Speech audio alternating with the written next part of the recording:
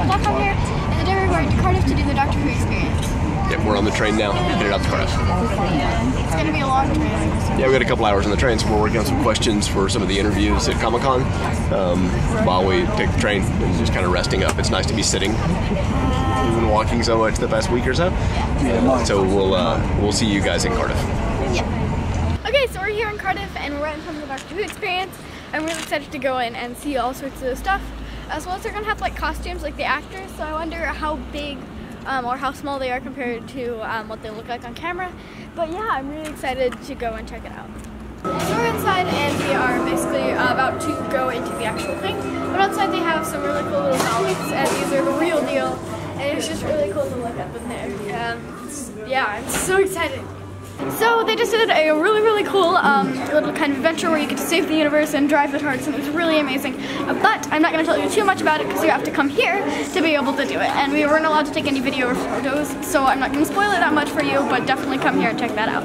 So behind me is the first TARDIS console, and it's actually kind of kind of weird how, at least to me, the first TARDIS is the most modern looking, and it gets like progressively more steampunk and rustic as it keeps going, and this is the most modern looking one.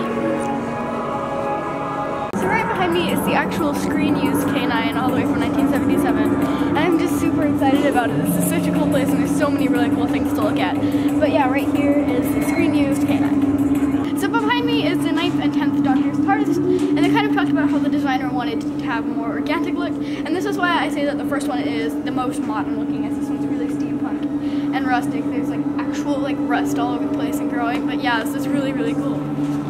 The other side of the TARDIS door. There's a TARDIS door in the adventure, and we're on the other side of it right now, and that's really cool. Um, I wonder if anyone's ever kind of like chilled out here and tried to mess with people.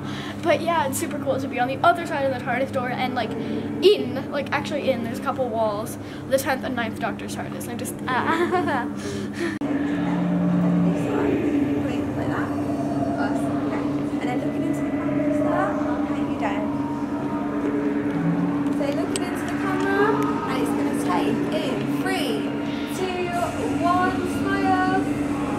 Brilliant. Okay, so behind me is the War Doctor TARDIS. So it's just a whole Doctor set, and this is just, I'm so excited about everything here. There's so much really cool things. There's costumes.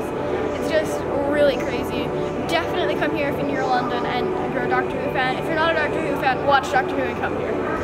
So behind me is Bill's outfit, who, if you don't know, is the new companion that is going to be the companion Series 10, and I'm just so excited to be seeing it right now. This is what she is going to wear, or she has wore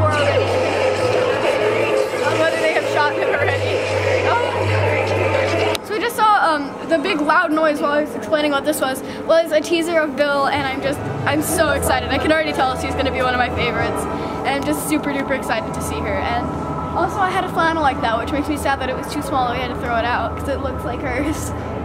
I brought my cosplay to take to London Comic Con, um, but these are the official costumes, and it's a really good cosplay rep. I'm just super excited because these are all things that she's worn. And it's just so exciting. Uh, this place is just so amazing. from one of the last episodes um, where he kept regenerating, and I'm just this is so cool right here. Um, this is just so cool. There's the monster that's chasing him over there, and it's just blah, it's so good. Um, but it's kind of weird to think now that the Doctor is like billions and billions of years old, but it's just, this is so cool. There's so many amazing things um, that I, I just love being here right now. It's just, I'm so excited. Okay, so they have this little walk like a monster exhibit, and the choreographer of Doctor Who teaches you how to walk like a Cyberman and a Scarecrow, and it's pretty cool um, to hear from the actual choreographer how these monsters walk.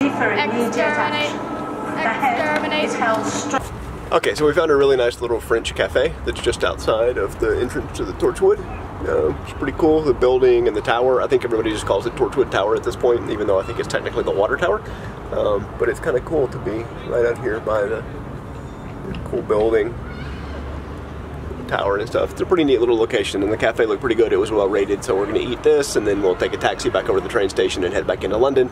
I think Mommy and Cooper had a good time at the Victoria and Albert today. They have bubble tea without. They're having some bubble tea and then going back to the Natural History Museum, and uh, we're just going to make our way back over there for the next few hours. I think that's our plan. Ava, what do you think? Yep, that sounds about good. Uh, still, you had bubble tea without me. Okay, back home again. Yeah. Yeah. So that was uh, absolutely amazing. Yeah. Right. That was like um, we were talking about it with mommy when we all got back home. That it's uh, it felt really like a loving kind of presentation of the Doctor Who stuff. Like it felt like it was fan run almost, right?